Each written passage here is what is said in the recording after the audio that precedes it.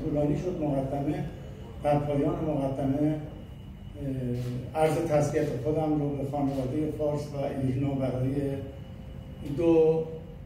مرحوم و مرحومه از دست رفتشون رو دارم و از خدای متعال برای خانواده اونها صبر مسئلت می‌کنم تسلیت میگم در پایان مقدمه بود و چون مقدمه طولانی شد متاسفانه من بخشی از مقدمه رو هم حذف کردم این تسلیت من هم حذف شده. اما در مورد سوال